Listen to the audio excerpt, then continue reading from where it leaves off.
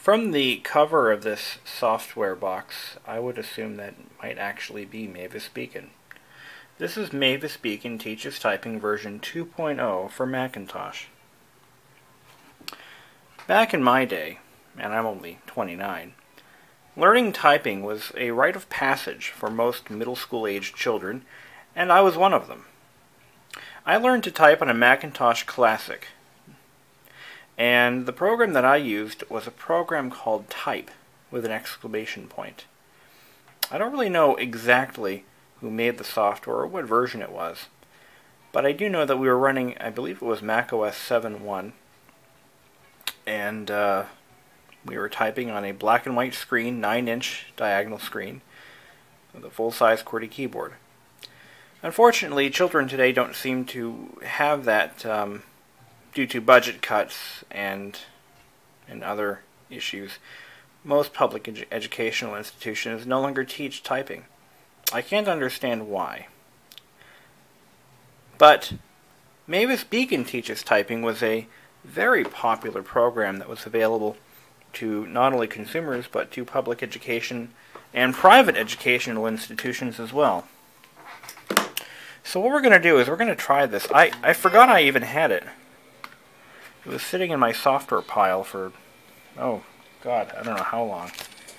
But I have the box, the original box, and the contents. Let's take a look at the contents. It says disc 1. I don't know how many discs are supposed to be in this box. But if we're missing one, then I guess I'm screwed. I think I can still download it, though. Let's take a look.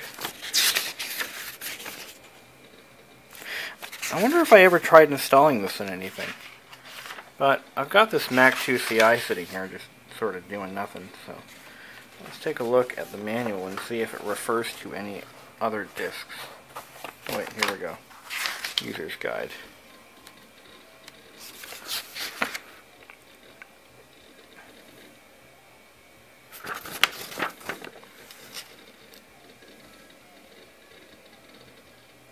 Hmm. I don't know. It doesn't seem to uh, talk about it. Requires 3 megabytes of hard disk space and 1.5 megabytes of RAM. Wow. my, my, how times have changed. So let's pop the disk in. I think that floppy drive still works. I know I had some issues uh, previously, which prompted the replacement of the drive. So let's hope it works.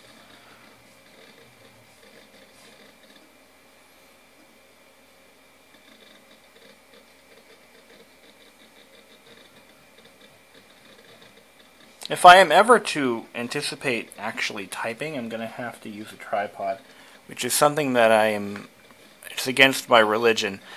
I am part of the uh, very um, exclusive religious group the no tripodites. Um, we we really dislike the use of tripods in our videos.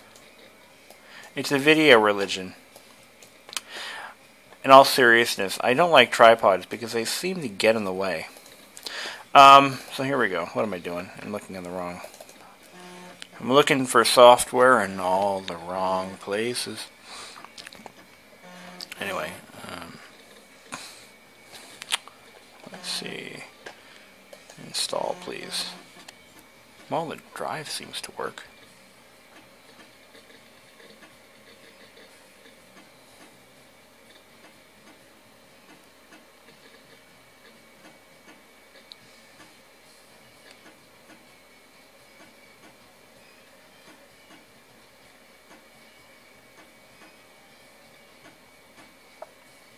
Now, one thing that sparked my attention. Um, the Macintosh requirements are a Mac Plus or higher.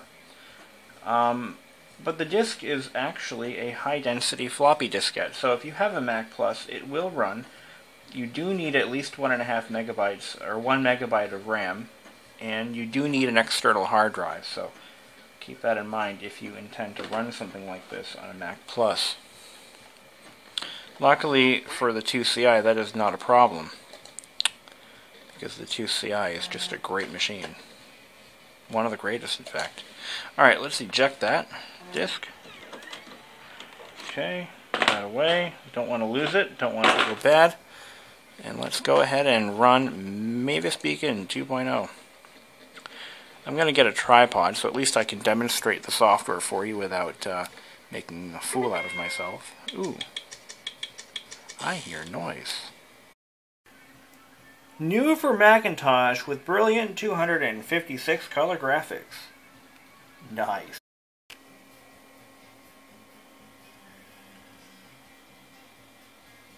Just for proof, I do own a tripod and here it is. I just don't like using it. I, I just, I hate setting it up. I hate taking it down. It just really messes up with my, my, my, my chi, or my, um, my, uh, I don't know. Insert new agey phrase here. Um, I just hate them. They, they just, they mess me up. They're always in the way, and they require work. I hate work. I just got out of work all eight hours of it, and I just don't want to do more work. It means I have to plan things out. I don't do that, guys. Alright, let's start the drill. Click on this button to start lesson. Alright, stop it. Let me play the damn game. There we go. This is this it? Alright, so I have to type all this out now. I don't know if you guys can read that. I'm going to zoom in a little bit. I'm killing my time now. Crap. Alright, here we go.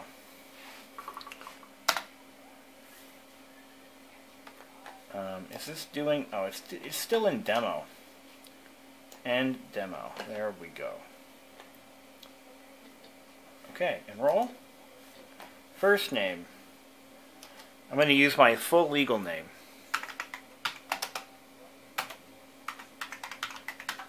Oops, PCM. Last name. YouTube. That is my full legal name. Um, and as a matter of fact, if you're trying to steal my identity, I'll give you my social security number. Are you ready? Write it down. Zero, zero, one, two, three, four, five, six, seven. So go ahead and open up a credit account under my full legal name, B Bishop PCM, YouTube. And again, my social security number, 001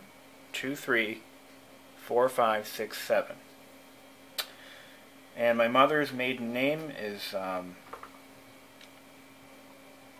uh, Jones.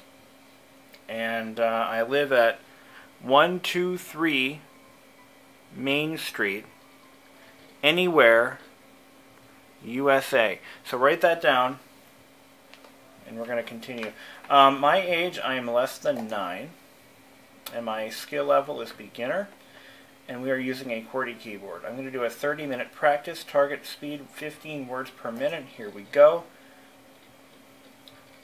I don't need to tour the keyboard, but I'm going to anyway because I want to show you all of the amazingness that is Mavis Beacon teaches typing. Type in A, type in S, D, I think I know F is next, space, F, D, S, A, space, type in A. I'm actually, I'm using the uh, proper, you know, uh, stance, if you will. Type in S space D space F space A. Oops D whoops D D oh wrong finger. D S F. This is so exciting. Did you know I actually spent a great deal of time doing exactly this in middle school. And you know something? It sucked. It wasn't fun. I do not wish to try again. I think I'm ready for the lesson, thank you. It was terrible. It was absolutely the most mind-numbing activity, but you know something? It improved my typing skills greatly. So much, in fact, that I'm going to type so poorly. Oops. Oops. A-D-A, S-A-D. This was an activity that people did in the 90s and 80s. And um, it was, uh, there was no texting. I mean, this was a, this was your closest equivalent to texting, and um, there were no cell phones back then. In 1995, when I did most of my typing lessons, um, because in 1993, 92, 93, and 94, I was using Apple IIs because I had a very um, conservative school district. We didn't like spending money on equipment. Um, which is funny because most of the equipment was older than we were as students. Um, you know, the Apple IIe, the 2GS, those are the two workhorses of my school district growing up. Actually, I, I really lived in a, in a fairly affluent community, and um, they were just very conservative. They didn't like to spend money.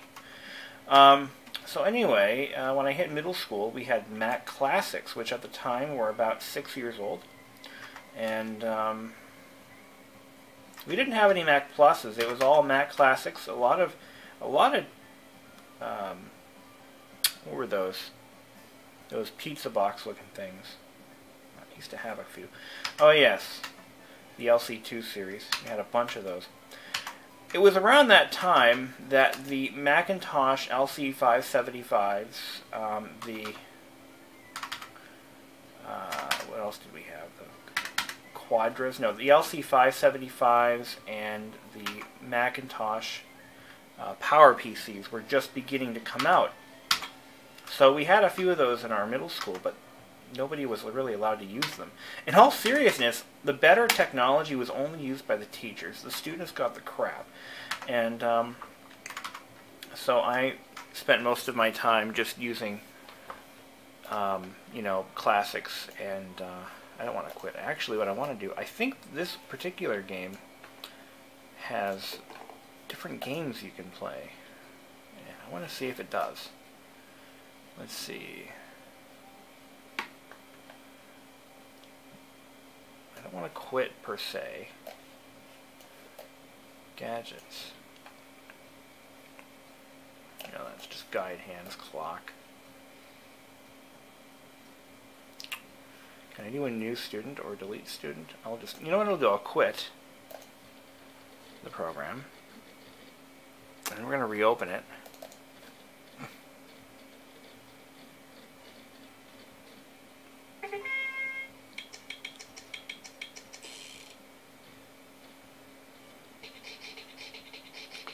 That's it. It doesn't have, um, well, alright, th there's a later version that I used um, in 1998, or was it 97? My middle school actually went to a PC form. They actually got rid of all the Macs in the building and they went strictly PC in that in that area. And or they began the phase-in process for PCs, which by the way they still use to to this very day. They still are a PC district. Um, but that having been said, we were um, learning how to use the new Windows boxes, which were Windows NT. This was brand new, brand new stuff. Uh, Windows NT 4.0. And uh, yeah, this had to have been in 97. And um, we were using a version of Mavis Beacon for Windows that actually had different activities that we could play. And it made typing a lot more fun. There was one activity that I enjoyed. It was the it was designed to teach numeric keypad use. And the scenario was you're a you're working a checkout counter in a grocery store and you had to enter the prices as they appeared on screen. And that's how I learned how to use a numeric keypad properly. Uh, but they had race car games. You know, you could actually drive your car. The faster you typed, the faster the car moved. It was terrific. Um, and that made it a little more entertaining. It wasn't as monotonous as this program is. Um, let's take a look at the copyright date. Uh, 1988-92. Um, so this is quite old. Uh, I mean, you can really tell by the lack of PowerPC uh, requirements. And um, obviously designed for the classic versions of the Macintosh. But this is old stuff. This is probably the second version, judging by the version 2.0. Um, I almost made a blunder there. I caught myself while I was uh, about to do that. So let's go ahead and end the demo here, and we're going to go ahead and exit. Yeah, I think I want to leave the program. Thank you. It's been it's been really fun. What other crap do I have on this computer? That was uh, that was um. Ooh, here's a good one. Microsoft Word. Let's take a look at what Microsoft Word looked like back in the old days while we're here. While we're recording, while the tripod's out, if you will. We'll take a look at Microsoft Word 6.1 for Mac. 6.01, actually. And, um, this is some seriously old stuff. 1995 is when this came out. This would have been the Mac equivalent to Office 95, or Word 95. I think I've already done that for you guys, actually. We did a quick tutorial. Um, I wonder what's in here for, for graphic objects. Clip art was a big deal in these days, and um, and I think Word had a whole library of clip art. But they don't have that anymore. They pretty much got rid of it. This is Bear Market. I'm going to go through the list here. Bird. Books. Bull Market. Oh, so I get it. Bear Market, Bull Market, I see. Checkmark, Cityscape. I mean, really classy stuff. Coffee, Compass.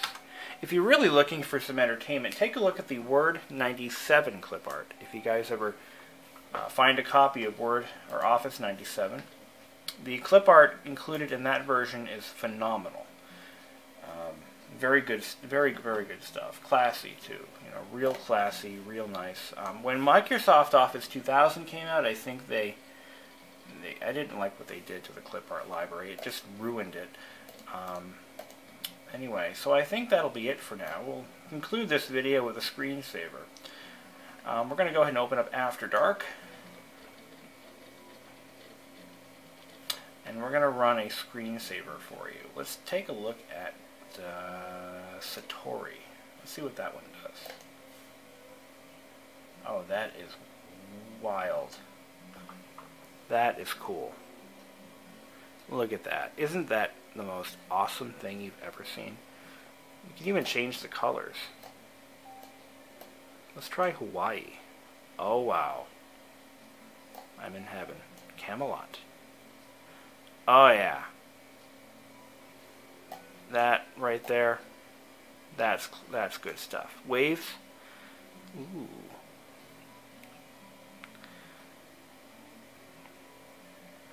You know, I could just crank the stereo, put this on my projector, and just mellow out for hours just watching this.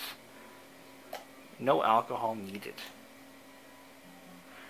You should know that I don't drink, ever. I, I really don't. Maybe once a year. I might have like a shot for New Year's, and that's it.